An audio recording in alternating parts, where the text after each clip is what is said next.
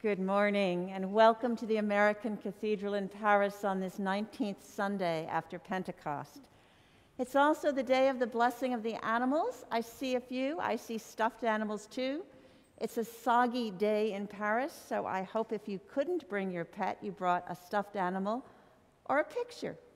And for those of you who are watching online, please stay tuned at the end of our blessing of the animals here we will do an online blessing. So please wait for that. And if you have a pet at home, please find that pet.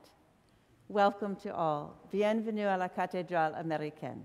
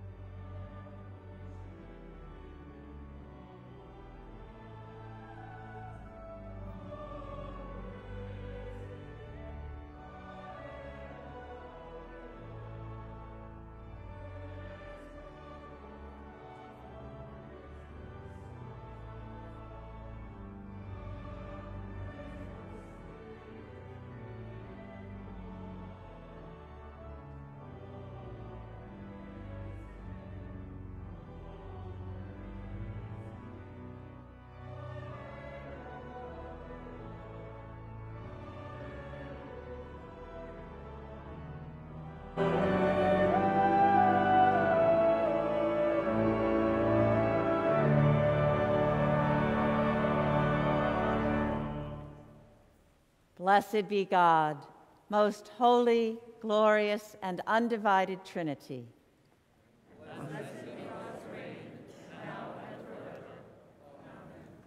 Let us pray together.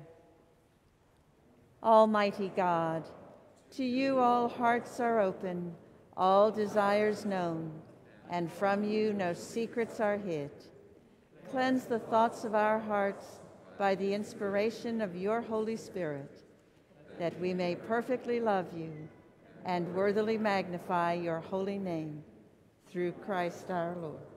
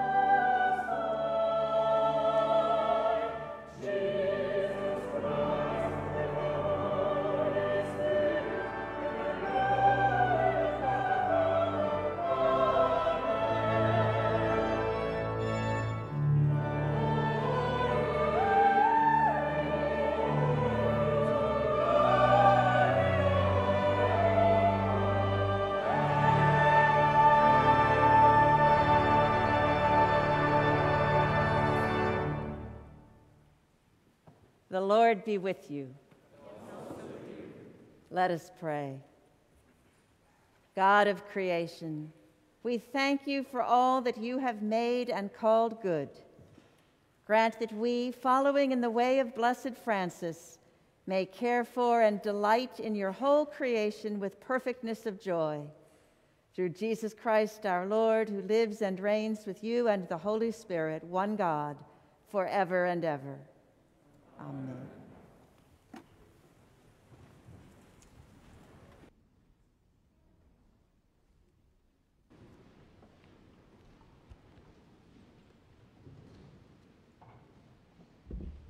A reading from the Hebrews. Long ago, God spoke to our ancestors in many and various ways by the prophets. But in these last days, he has spoken to us by a Son, whom he appointed heir of all things through whom he also created the world.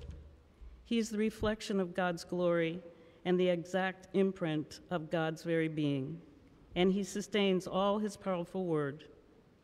When he had made purification for sins, he sat down at the right hand of the majesty on high, having become as much superior to angels as the name he had inherited is more excellent than theirs.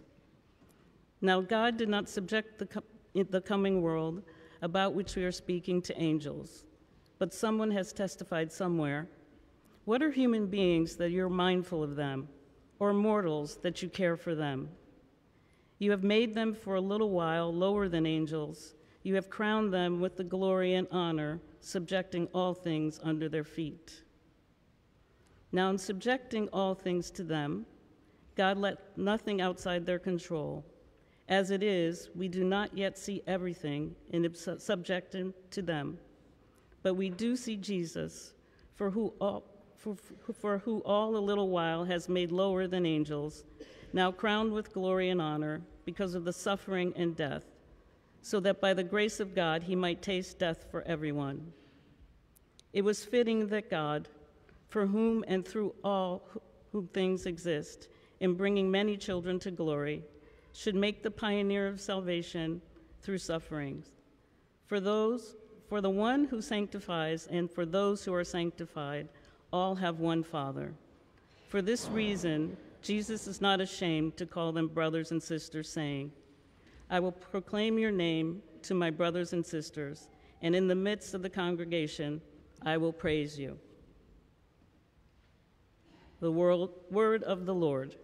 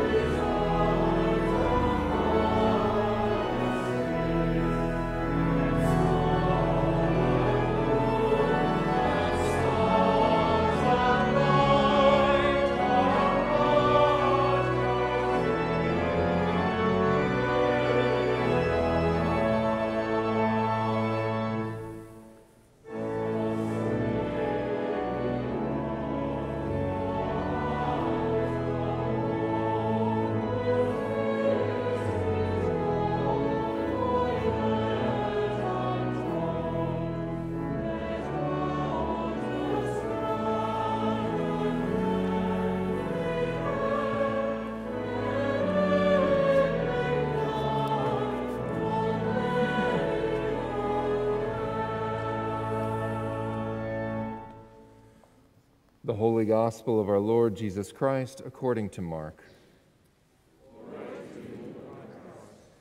People were bringing little children to him in order that he might touch them, and the disciples spoke sternly to them. But when Jesus saw this, he was indignant and said to them, Let the little children come to me.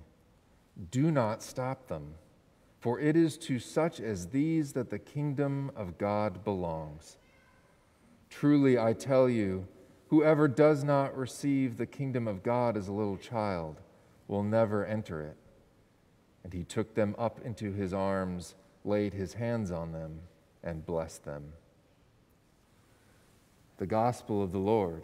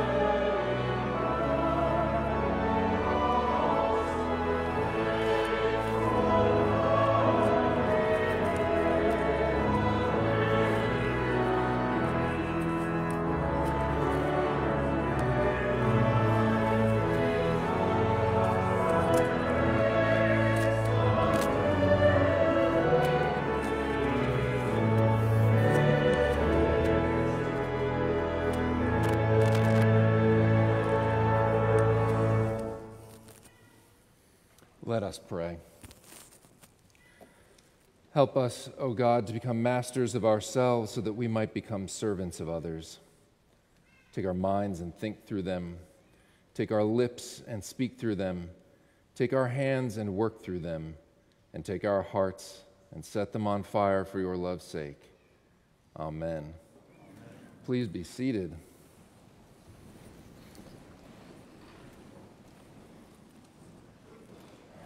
If you didn't know before you came to church this morning or the last little while since we've arrived by meows and barks, you've probably gathered that something different is happening today. It is the annual blessing of the animals. And by a show of hands uh, or paws or otherwise, do we have dogs here? Do we have cats here? Do we have lizards here? Okay. Birds? We'll come back to birds. We've got an idea of what we have in church this morning, of who we have with us who normally might not be with us. It is a strange thing that we do each and every year with this blessing of animals, and so it's worthy, especially after a couple of years removed from actually having animals in the house with us, reminding ourselves why we do what we do. And our uh, lessons this morning actually help point the way uh, from our lesson from Hebrews this morning, we get one core idea of why it matters, why it's important that we should bless animals and have them with us in church this morning. And one is that they remind us of a fundamental purpose that we have as human beings that God has bestowed us with, which is that we have a particular role in creation, as we have both in Hebrews and our psalm this morning, reminded that we, God has created us just a little lower than the angels, but with great responsibility for so many creatures below us, around us, even beneath our feet. We should take that literally. Think about that literally within the text that morning of we have these creatures who we can see and touch and give us all the warm fuzzies this morning, but we also have relationship and responsibility and duty and love for all creation. Those things that we can see and those things which we cannot see, but without which we could not live and move and have our own being and purpose. So, that is a fundamental ethic that we have been given and has been handed down to us through our ancient ancestors, who, without the benefit of microscopes and any number of other fine tuned, finely tuned instruments of science that we have now today, still knew that our duty and responsibility as unique creatures, creatures in this world is to care for creatures, human and otherwise, who we cannot see and will never know. They matter to us, they belong to us, we belong to them. And so we should bless, even as we bless all of our warm and fuzzy creatures who are with us this morning and who we have a direct relationship with we need to be mindful of all of those creatures without whom, if we lose them, and we are losing them, we know faster than maybe at any period in human history, that we need them to survive and to live and to flourish, not just for us, but for all of our children who are here and for the generations who are yet to come. So, purpose is why we are here as human beings. And the second reason we're here with our blessing of the animals is joy we do celebrate these creatures who are warm and who are fuzzy because they bring things to us. They bring a joy to our lives that wouldn't otherwise be there, whether you have an animal in your household or not.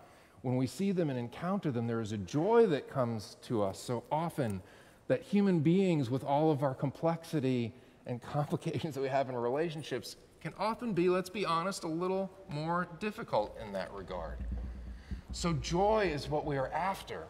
And so we can take from our gospel, especially this one from Mark this morning, that is about the joy Jesus is encouraging children to be brought to him, which we can take literally as little children, but is also a reminder that we are all God's children, every single one of us. That is, a fun, that is maybe the very first identity that we all have, is that we are first and foremost children of God and that our purpose that we offer and share with creatures is also to derive joy, a joy that can only come from God, which Jesus has to offer us.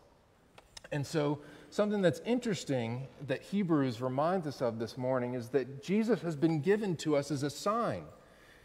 The perp- one of the core purposes of Jesus coming among us as one of us is to teach us that we can look at what Jesus did and Mark, as a gospel, is a beautiful author of showing us what Jesus does, showing us the things that are important to him and important to God.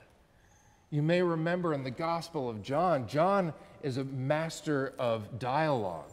John puts so many more words in Jesus' mouth, including, I have come so that your joy may be complete. John puts it explicitly in words, but Mark puts it in showing us what Jesus does. Bring the children to me. Come to me. I have something to offer you that the world cannot offer you. Remember this. St. Francis, whose feast day makes it possible, in which we, we celebrate and mark this blessing of the animals each and every year, modeled this. One of his most famous sayings that we can live by is preach the gospel at all times, and when necessary, use words.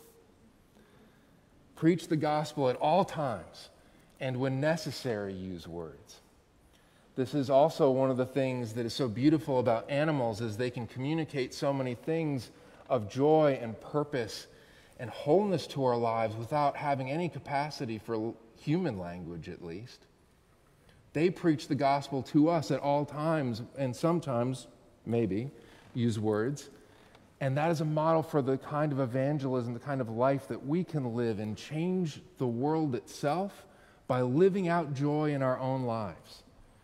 Living out the gospel that we've been given by how we live our lives, much more than what it is that we even say about what it is we believe. So, joy is something to be taken seriously, not as something frivolous. I, one of the things that's been beautiful for me to think about this past week about joy is that joy is a form of justice. That there are things in this world, in the com- complexity of human society, away from the society of animals, that we have, unfortunately, a practice of taking things from others. That that is one of the things that Jesus is speaking against in this gospel do not remove barriers to your siblings, fellow children of God, from having wholeness and fullness and joy in life. But joy is one particular thing that cannot be controlled or withdrawn or withheld. Joy, oftentimes, itself is a symbol of defiance against injustice. And one of the things that we can constantly be amazed in our lives is the way that we can bear witness to the fact that those people who are so often the most oppressed can yet have the most joy. And that is not only a form of witness to the good news of God's love and the way that it can overcome all things, but it is also a way of showing, def- showing defiance and claiming agency for those who have been sub- uh, subjected to injustice. And so joy itself is not something that is trivial. Joy is something to be taken seriously. And now I want to return to a specific joy when we think about, okay, Nat, that's great. Life is hard these days. Life is hard in general, and especially it's not getting any easier even as things start to lighten up in the world around us. I'm feeling a little low on my joy tank these days. So, how is it that I'm supposed to fill it up again? And this is one of the things I was thinking about this morning sources of joy that I had to take seriously and reflect upon in my own life. So, on Sunday mornings, I don't know if you have a routine on Sunday mornings. I have a routine on Sunday mornings getting ready to come here to do church. And one of the things that I do when I get up, I make my coffee, uh, I get ready, and then I turn on uh, BBC Three uh, radio, which is a class, mar- largely classical music, especially on Sunday mornings. But for several months, earlier this year at least, there was a segment every single Sunday at the same time that focused on birdsong. And there was about a five to 10 minute segment where there was a woman that came on the air every single Sunday and taught us, those who were listening, to the various particular songs of particular birds that we could see and know and listen for. And I have to admit, that I thought it was pretty silly. And for me, I derived some sort of joy from kind of taking this moment of silliness and frivolity and triviality to this notion of someone listening to the bird and telling me, and oftentimes in human voice, mimicking the birds themselves. It sounds pretty silly. And I was felt pretty solid in my judgment of that for many, many months until uh, the last couple of weeks. I came across an interview with a man named Drew Lanham, who is a professor of wildlife ecology at Clemson University in South Carolina in the United States. And he is an ornithologist. He studies birds for a living. And this is what he said Well, I do think that joy, in part, is the justice we give ourselves. And for me, the songs of birds are important.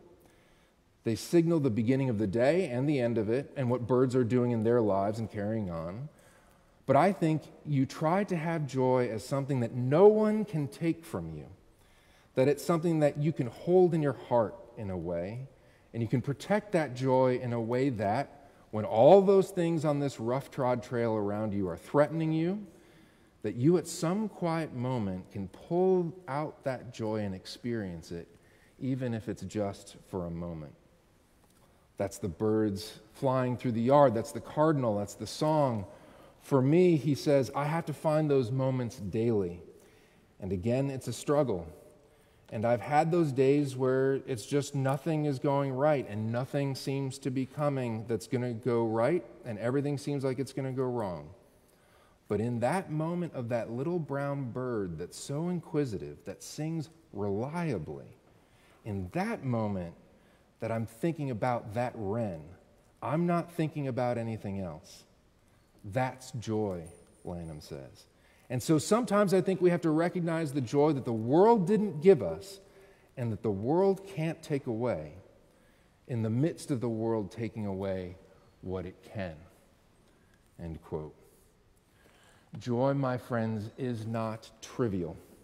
Not the joy that God has to give us, the joy that the world cannot give us and the world cannot ever take away. It is a joy that is accessible it is a joy that is reliable, it is a joy that is durable, and it is a joy that is transformative. It will literally change how we feel about the world and our lives when we need it most. St. Francis lived his life this way, which is why 800 years later we are in church with dogs and cats, and our siblings throughout the world have snakes and horses and any number of things that they're bringing to church to be blessed today.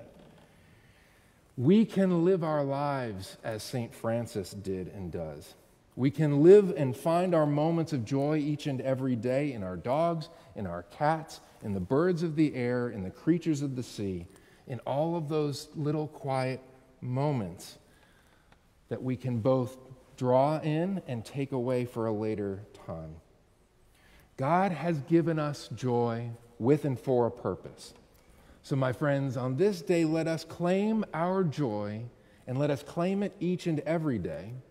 Let us be nourished by it and let us live out our lives with such a joy that it inspires others to seek their own. And we will be sending our fellow children of God into the world, preaching the gospel at all times, and when necessary, using words. Amen. So, it is that time. And so, as our, the choir will stand and lead us in music, we will have our blessing of the animals. For those who have brought animals or stuffed animals or photos to be blessed, there will be two stations to come forward to this morning. There will be one at this end of the center aisle. Uh, Dean Lucinda will be here. I will be at the back. You can come to either side, whichever one is closest to you, or in this is something to think about in the 21st century. We are blessedly live streaming our service. If you would prefer not to be on camera, you can come to the back station where I will be. So, dear friends, creatures great and small, come one, come all for the blessing of the animals.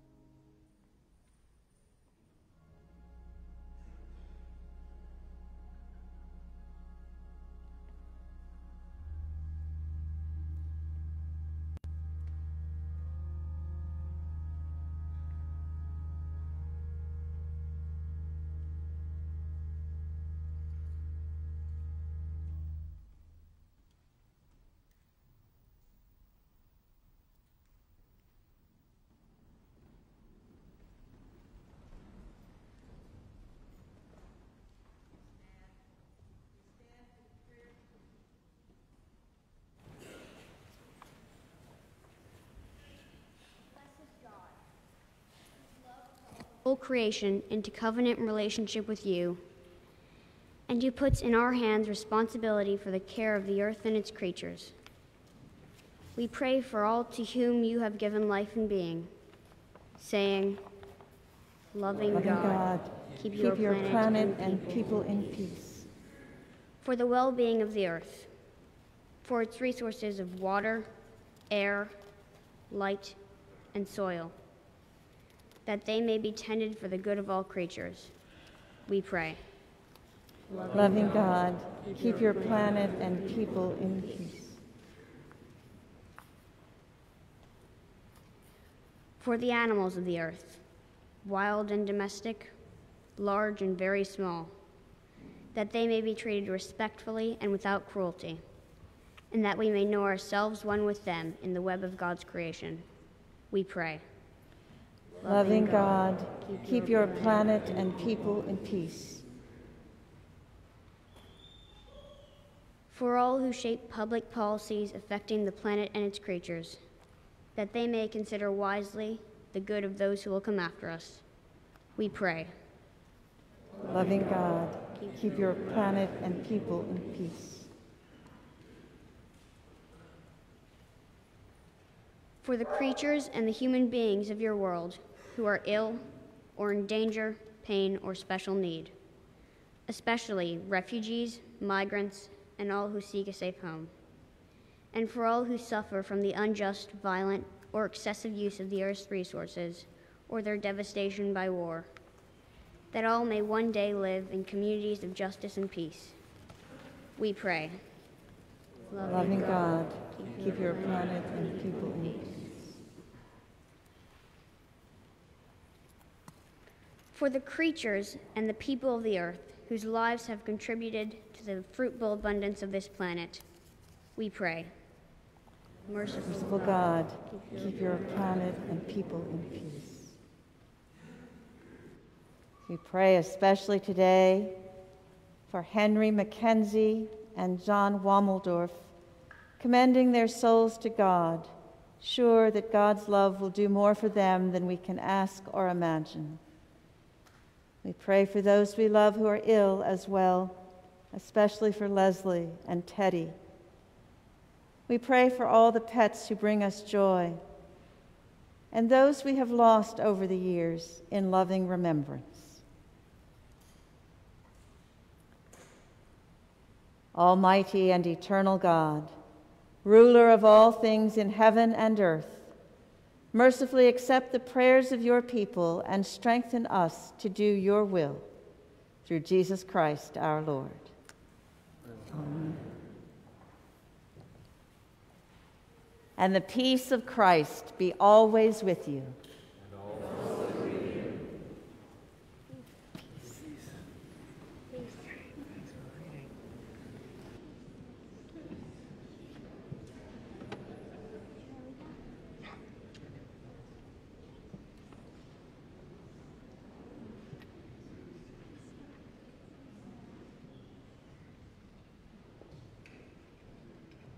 Please be seated. Good morning, and all of you, humans and animals, welcome to the cathedral. I particularly like it when I hear a bark or a meow during a hymn. I figure that's an animal giving praise too, uh, which I love. Uh, you there, you go, during announcements too. Uh, you are all very welcome here. I do know that we are getting fairly full, uh, at least in terms of our social distancing. And if anybody is beginning to feel unsafe, that's the first thing I want to say. We have started an overflow room in the parish hall where you can watch the service online.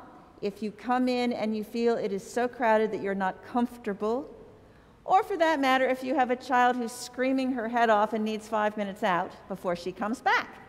Uh, in any event, and children, by the way, are so welcome and I use that phrase, screaming your head off, deliberately because only if they are really unhappy do we want you to remove them.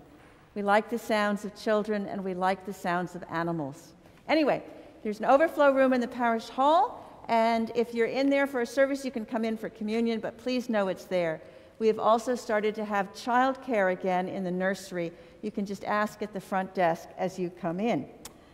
Uh, today, Sundays with the Dean start, and if you signed up for that, or even if you didn't, go on over to the Deanery after the service. It's just across the Dean's Garden, or ask one of the ushers. Alas, it is so wet, we will not have a coffee hour. We are not yet ready to put all of us in the parish hall with our masks off, which they would be to drink coffee. So I'm sorry. It's the first time we've been rained out, but we have been rained out. Uh, this coming week, uh, the 20s and 30s will meet on Wednesday. Um, there's information in the bulletin or contact uh, Canon Katz. Also, next Sunday, Bible study starts, the Gospel of Luke. I will meet in person with whoever wants to meet in person. There will be a later Zoom to catch up anyone who couldn't make the meeting, and then the future meetings will be on Zoom. But I wanted to start in person so plan for that if you're interested next Sunday. Uh, there's a parish wide discernment process going on. There's information in the bulletin and a chance to. Um, we recorded last week's forum with Maurice Seaton. It was excellent, really good, and explains what we're up to. So I urge you to watch that if you were not there. We need volunteers. We always need volunteers. This church runs on volunteers.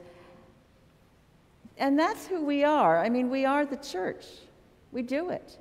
So, specific things are listed in the bulletin. Um, I have listed some particular opportunities to do with um, hospitality. Uh, I could use, actually, I uh, asked for a volunteer and I got one there. I can always use more. Uh, specific things for welcome and inclusion. We need an administrator organizer. We need concert hosts. All of this is in the bulletin. Today, I am making a pitch for adult acolytes. Have you wanted to learn how to serve at the altar?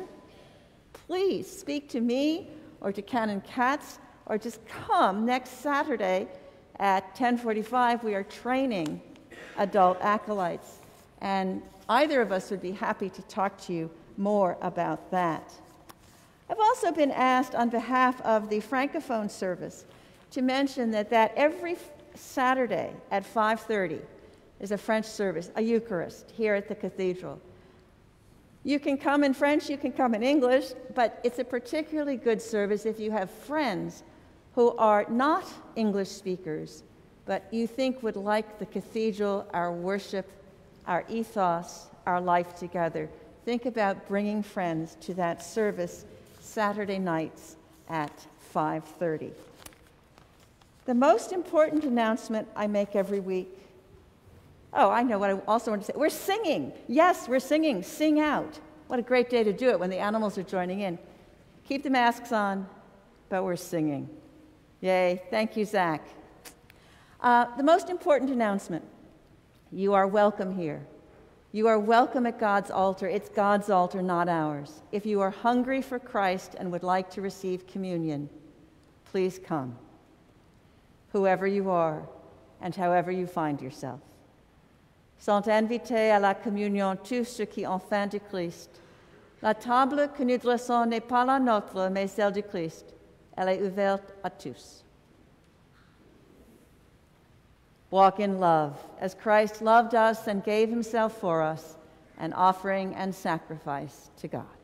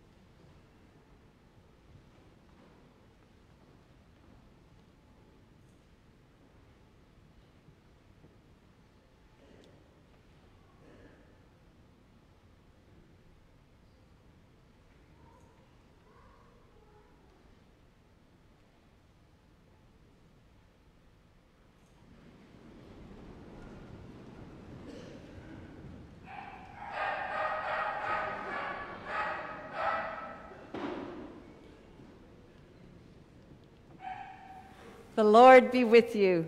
With you. Lift up your hearts. We lift them to the Lord. Let us give thanks to the Lord our God. Right God thanks and praise. Life giving God, your word speaks to the void, calling into being things that are not, inviting us to share your work of creation. We thank you for the long ages of gathering stars and cooling earth of life evolving and waking eyes of wonder. We thank you for the creatures with whom we share the world, for their lives, so very different from our own, and the richness they reveal. Above all, we thank you for Jesus, your Son, who walked the growing earth and proclaimed a fearless kingdom of bird and lily, child and stranger, the beggar and the blind. Therefore, with all that has life through him, with animals and angels and all who hope for a new creation, we share the song of love which sounds from all eternity.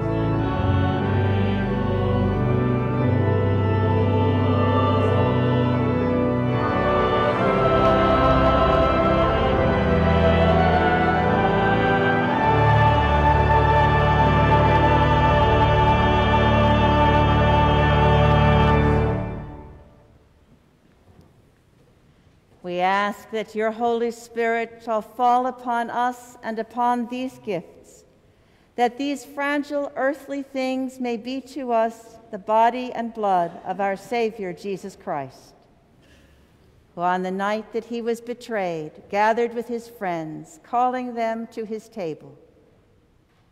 Jesus took bread, gave thanks, broke it, and said, this is my body, which is given for you. Do this to remember me.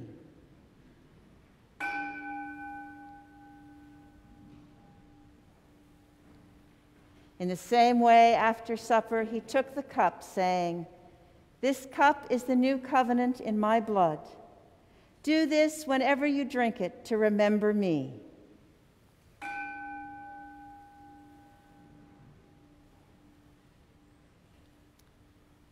As on that night, so here and now, he offers himself in touch and taste beyond all words can hold. Therefore, we proclaim the mystery of faith. Christ has died, Christ is risen, Christ will come again. We present these gifts to you, O Christ, our offerings of thanksgiving as fruit of the earth and the works of human hands.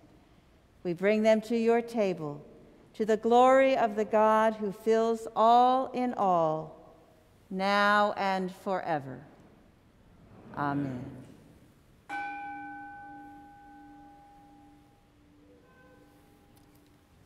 And now, as our Savior Christ has taught us, we are bold to say, Our Father, who art in heaven, hallowed be thy name. Thy kingdom come. Thy will be done, on earth as it is in heaven. Give us this day our daily bread, and forgive us our trespasses, as we forgive those who trespass against us. And lead us not into temptation, but deliver us from evil. For thine is the kingdom, and the power, and the glory, forever and ever. Amen.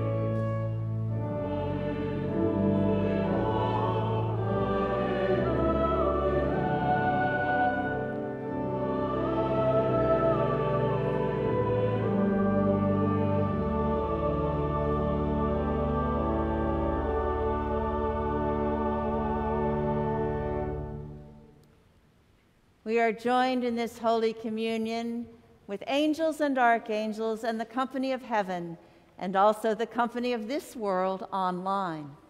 And the promise in Holy Communion is that it is for all who come to Christ. Whether you are here or not, Christ has you in Christ's hands. Let us pray together then for spiritual communion. Lord Jesus, as you promise to be with us in the bread and wine that is your body and blood, grant that we may receive you spiritually today into our hearts, minds, and souls. Stay with us, be our companion in the way, kindle our hearts and awaken hope, that we may know you and have confidence in your loving care, now and forever. Amen. These are the gifts of God for you, the people of God. Take them in remembrance that Christ died for you, and feed on Christ in your hearts by faith and with thanksgiving.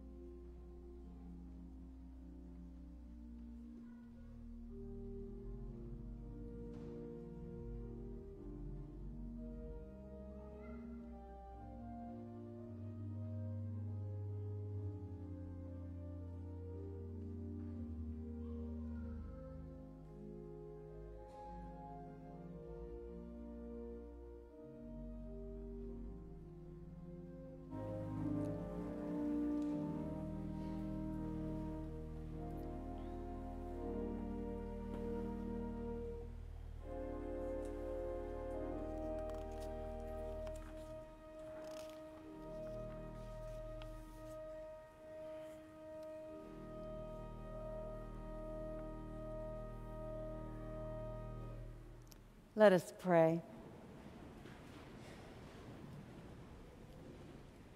Eternal God, you have graciously accepted us as living members of our Savior Jesus Christ, and you have fed us with spiritual food in the sacrament of his body and blood. Send us now into the world in peace, and grant us strength and courage to love and serve you with gladness and singleness of heart through Christ our Savior. Amen.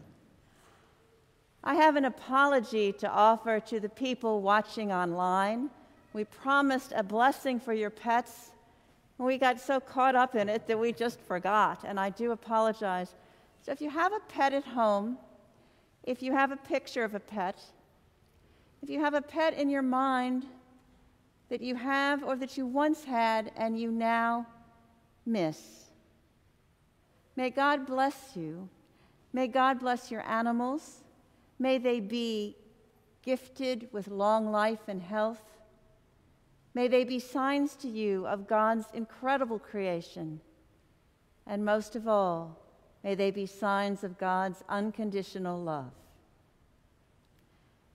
And the blessing of God, the holy and undivided Trinity, be with you and remain with you this day and forevermore. Amen.